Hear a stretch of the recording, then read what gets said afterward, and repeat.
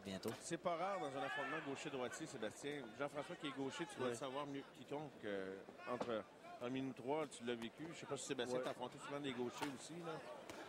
Oh! Des échanges un peu échevelés, on touche la cible. Tantôt, on est en mesure de parer ou de contrer des coups avec les gants, avec une garde bien placée.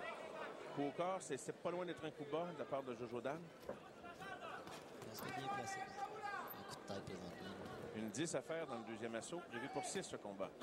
On sent Jojo Dan peut-être plus à l'aise dans le style professionnel. Euh, Il, il baisse bien, le, esquive bien il vient de le faire à sa gauche? Euh, cache bien son menton dans l'épaule. Euh, des belles qualités qui, qui font, qui font la transition d'amateur à professionnel. Avait-il plus de difficultés chez les amateurs? Non, mais, pa- non, par contre, euh, le style européen amateur, les boxeurs sont beaucoup plus droits. Oui. Ils reculent en ligne droite, les mains bien hautes. Euh, donc, c'est juste une question d'adaptation euh, au style professionnel. Un gars, un gars qu'on va voir ce soir qui s'adapte bien chez les pros. Deux gars, Benoît Godette et Antonin Descaries aussi. Godette, très belle adaptation jusqu'à maintenant. On va voir ce qu'il va faire ce soir dans le prochain combat d'ailleurs. Pendant que les échanges se poursuivent, euh, ça finit par une droite de Jojo Dan, le dernier coup, encore au visage. qui avait commencé avec deux crochets de gauche, euh, deux crochets de droite au corps, comme on vient de le voir. Euh, certainement la clé pour lui s'il veut fatiguer et épuiser Diallo euh, en, fin, en fin de combat. On sent aussi qu'il y a plus d'impact dans ses coups de poing que Diallo. Diallo a tendance un petit peu à lancer la main ouverte. Jojo se place, il plante ses pieds pour lancer ses coups de poing. Et aussi, il va de belles esquives, Jojo Dan. Roule bien avec ce que tente Diallo. Oh, une belle droite de Diallo dans les derniers moments. Il y a un coup qui est parti après la cloche. Heureusement, il n'a pas atteint la cible. À la grande joie, sans doute, du Roumain d'origine, Jojo Dan. Deux rounds de complétés en direct de l'aréna Maurice Richard à Montréal. Cette soirée de boxe, présentée bien sûr par le groupe d'Éric Lucas, le groupe Interbox. Avec Sébastien Gauthier, Jean-François Bergeron, Ross Amber, notre ami Ross qui va venir nous voir un peu plus tard. On vous salue dans les cages au sport partout au Québec, vous qui êtes rassemblés pour cette autre soirée de boxe, qui est vraiment le sport de prédilection en 2004-2005 avec l'absence de hockey. Heureusement qu'il y a eu quelques, quelques galas de boxe pour nous rassembler, amis de, amateurs de sport. Oui, il y en a eu plusieurs. Je pense que toute la boxe professionnelle en a profité. Euh, je pense aussi qu'on a gagné plusieurs, euh, plusieurs amateurs qui vont, euh, qui vont nous suivre et on voit les, les reprises. Effectivement, peux décrire, messieurs, ce qu'on a vu, euh, quelques séquences du dernier round. Ben, je pense qu'on voit Jojo Don qui est vraiment plus conscient défensivement, Oui. comme JF disait. Je pense beaucoup plus conscient. Tantôt, il a fait un beau weave. Même s'il n'y avait pas de coup, il revenait avec le crochet. Ça paraît très bien. C'est parti pour le troisième. C'est c'est ce qu'on lui reprochait un peu en gymnase, c'est qu'il il travaillait très axé vers l'offensive, mais un petit peu moins sur la défensive. Avez-vous donné le deuxième round également à Jojo Dan, messieurs? Oui. Oui, en effet. Et le, Alors? le- le troisième round commence, euh, commence avec force des deux côtés. Ben, c'est le temps, c'est le moment pour euh, Amadou Diallo si, euh, s'il veut s'imposer, s'il veut euh, faire réfléchir davantage à Jordan avant chacun de ses, avant chacune de ses attaques. Il devrait être plus précis toutefois parce que quelques coups sont échevelés. Il faut peut-être donner le crédit à la défensive de Jojo Dan aussi. Mais à quelques, à quelques occasions, il envoie une belle main droite, direct Oui. courte. Mais Jojo Dan fait juste reculer un peu pour l'éviter. Il devrait peut-être finir avec soit une deuxième main droite ou un crochet après sa main droite pour, pour essayer de profiter. euh. Très, très difficile, à moins d'avoir un, un marteau pilon dans les mains, de, de- de tout faire avec un seul coup. hein. Tu Ouais, peux placer un bon coup ici et là, mais euh, éventuellement, c'est intéressant de travailler en combinaison pour épuiser l'adversaire. C'est ce que tente de faire Jojo Dan, d'ailleurs.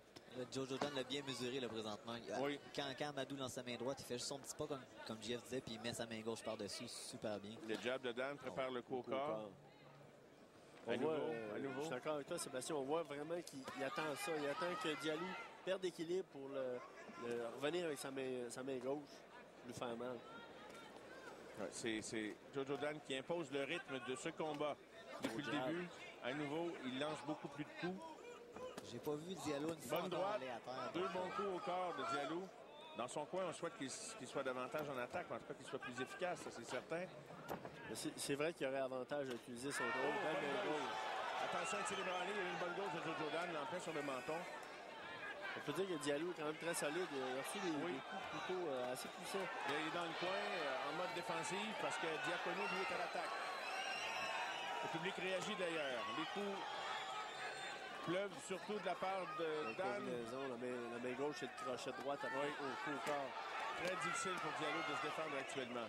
Diallo, il se bat une main. Il était branlé présentement. Les jambes Oh, sont oui, oui, oui, on le sent moins solide. Si, si, on- jabberait, ça ferait toute la différence. Juste de jabber pour le tenir occupé. Mais Diallo qui a une fiche de deux victoires et une défaite, trois nuls. Son septième combat chez les pros. Nous sommes dans 40 secondes encore, donc ça pourrait être une fin de round assez euh, pénible pour Diallo si ça continue à ce rythme-là. Dan qui il, il est impuissant à faire quoi que ce soit parce que Dan a toujours vraiment le contrôle. Main gauche encore. On voit encore comme Sébastien le parlait tantôt. Il recule, il revient avec sa main, sa main gauche. Il a, bien trouvé sa distance. De toute façon, s'il si, s'il rate Vous voyez, la main messieurs, droite, il vient, il vient d'utiliser le jab là, pour une rare fois. Là, et ça a obligé Dan, Dan qui n'était pas habitué de le voir venir, son jab, est obligé de reculer un peu. ouais, puis Dan qui a la main droite un peu basse aussi. Oh! Deux crochets. Attention, attention dans les dernières secondes. 5 secondes seulement. Est-ce que, est-ce que Madou Diallo va réussir à endurer cette pluie de coups? Ah, et il est sauvé par la cloche. Sauvé par la cloche parce que là, ça s'en venait euh, des moments critiques pour Amadou Diallo. Et on a qui- vu, euh, excuse-moi Mario, un peu comme on a, on a parlé, on va sûrement le voir en reprise. Euh, suite à une droite un peu nonchalante où il perdait l'équilibre, Diallo, on a vu euh, Jojo Dan revenir avec la, la main gauche et le crochet de droite. On le voit ici présentement. C'est le Et voilà. crochet de droite. Il n'a pas placé la main gauche, mais il est revenu avec le crochet de droite. Donc, d'où là l'importance de frapper en combinaison. Puis là, on voit qu'il est vraiment, vraiment blessé. Il est revenu dans son coin avec un regard de désespoir. Puis j'ai hâte de voir comment le coin va réagir. C'est au point de protéger de son fighter. Et, et- et c'est là qu'on peut se demander, bon, est-ce qu'il est utile tant pour le boxeur que, que- que ça aille plus loin? Parce que là, il semble qu'il y a vraiment un net écart de calibre entre les deux. Le spectacle veut toujours qu'on aime ça voir le résultat final pendant un round, c'est évident. Euh, on le renvoie pour amorcer le quatrième round, mais si ça se poursuit dans la même donne que ce qu'on a vu dans les trois dernières minutes, on ne devrait pas aller tellement plus loin. C'est certain que s'il n'envoie pas plus de coups, là, on le voit commencer avec son jab. Euh, s'il n'envoie pas plus de coups, Jojo Dan va, va- va- va se lancer dessus. Il va envoyer Oui. des combinaisons au corps en tête comme il le fait présentement. Ça semble évident. Déjà une bonne gauche de Jojo Dan en commençant le round. Et là, on sent déjà Diallo ébranlé. On ne sent pas solide sur patte euh, tellement. Dan qui place son jab va sans doute revenir au corps très bientôt. Combinaison, la droite. C'est ce qu'on veut. Je suis certain que du côté de- du coin de Jojo Dan, on veut qu'il utilise son jab, réparer ses attaques, les combinaisons courtes et secs pour faire mal. euh, un peu comme il le fait présentement. On, on voit que pour les gauchers, la clé, là, le monde pense tout le temps que c'est la gauche, mais le crochet de droite, je pense que Jean-François t'a manqué ton adversaire avec ça la dernière fois. C'est, c'est, le côté aveugle pour nous, là, pour les droitiers. Oui, parce que c'est un coup de poing où, où, euh, ben, la plupart des droitiers n'est pas habitué de voir. de- Donc, euh, c'est important d'utiliser, spécialement quand on l'envoie après la, la- la main gauche gauche, ou en contre-attaque. Comme, euh, comme Diallo a souvent la main, la main gauche basse, c'est pour ça que le crochet de, de droite de Jojo Dan nous fait si, si souvent mal. Et sa droite est télégraphiée également. euh, c'est tout le corps qui bouge quand il envoie sa droite. hein. C'est, euh, on dirait que son corps doit suivre et ça devient très difficile. Il devient très vulnérable dans, dans les fractions de seconde qui suivent le, le coup porté. là. Parce qu'il ne pas. Exact, exact. Alors, c'est c'est Jojo Dan, quoique avec moins d'intensité, laissé sans doute beaucoup d'énergie. Attention! Oh, réplique immédiate de Diallo après avoir encaissé quand même deux bons coups consécutifs. Euh, Diallo, euh, jusque-là, nous a quand même démontré beaucoup de courage Oh et oui. euh, une bonne capacité d'absorber euh, gros point. Il affronte un bon boxeur, ne l'oublions pas. Ouais. C'est un gars invaincu, c'est sûr, il n'y avait rien à peine en rentrant dans le combat. C'est sûr. Il a tout à gagner, un bon coup, et on ne sait jamais, des fois, ça peut... euh, mais, Belle euh, gauche préparée par. Elle avait bien trouvé sa distance, euh, un petit peu endormi Diallo et est sorti de nulle part. Une minute à faire dans le quatrième.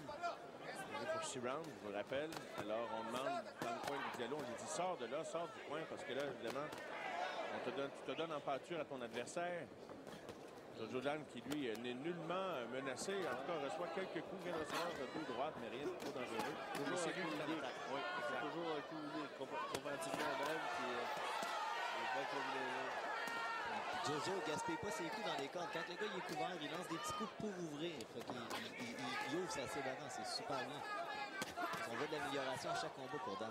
Une belle démonstration qui dépend de l'adversité également. hein. Oui. Une des phrases qu'on entend le plus souvent, c'est sort de là et ça vient du coin de d'Amadou Diallo. Vous l'avez deviné, messieurs. Oui, on, on peut seulement être d'accord avec, lui- Oui. avec son coin parce qu'il serait plus efficace dans, il est plus efficace dans le milieu du ring. Par Aucun contre, doute. Dan veut vraiment l'en- l'envoyer dans les corps pour, euh, pour travailler puis essayer de le, le fatiguer, le fatiguer le plus possible. Mais Diallo va se rendre au cinquième round, ce qui n'est pas un mince exploit dans les circonstances parce que tout à l'heure, on ne donnait pas cher de sa peau dans ce combat. Il est évident qu'actuellement, si ça repose sur une décision des, des officiels, ce sera sens unique. Évidemment, on, on a donné tous les rounds à, à Jojo Dan. Voyons quelques combinaisons logées par M. Jojo Dan, messieurs. Belle main gauche encore. Et toujours après le jab, on va quelques jabs pour préparer, varie bien au corps. Et euh, Diallo a quand même bougé beaucoup plus. Il était un petit peu moins euh, euh, immobile qu'il l'a été au round précédent, ce qui, ce qui rendait la tâche plus difficile à Jojo Dan. Alors, voyez cette vue en plongée de l'aréna Maurice Richard, où en vedette ce soir, vous aurez le combat de Lucian Boutet. Il y aura aussi Adrian Diaconou, les deux attractions principales. Les deux autres Roumains de cette filière de trois, sur lesquels compte beaucoup Eric Lucas dans le groupe Interbox. Début du cinquième. Autre round unanime à l'endroit de Jojo Dan, messieurs. On n'aura pas une grosse, euh, on n'aura pas beaucoup d'arguments là-dessus.